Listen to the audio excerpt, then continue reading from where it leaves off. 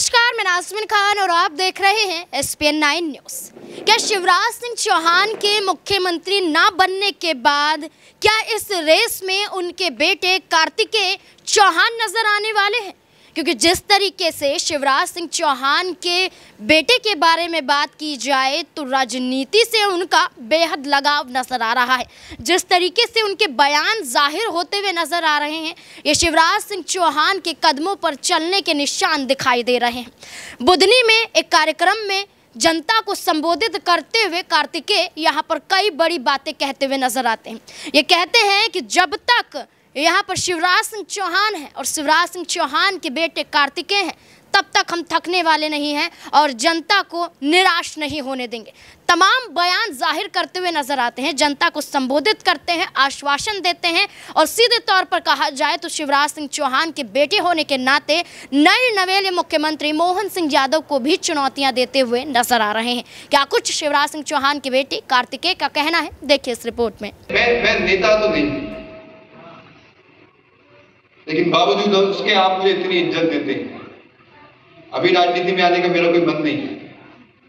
कुर्ता पहन के आया ज़रूर हूँ, लेकिन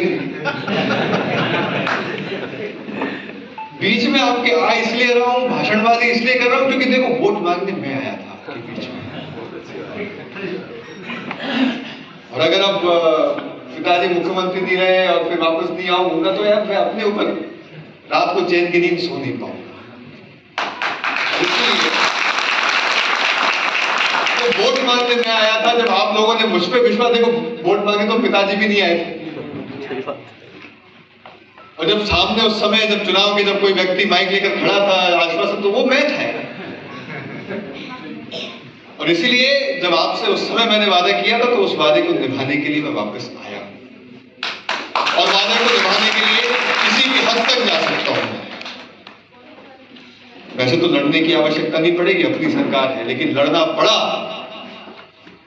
तो इस बात के लिए आप क्वेश्चन रहिए अगर आपके लिए लड़ना पड़ा, अगर हक के लिए लड़ना पड़ा तो वैसी नौबत नहीं आएगी, लेकिन अगर नौबत आई तो उसके लिए भी कार्तिकेय तैयार है।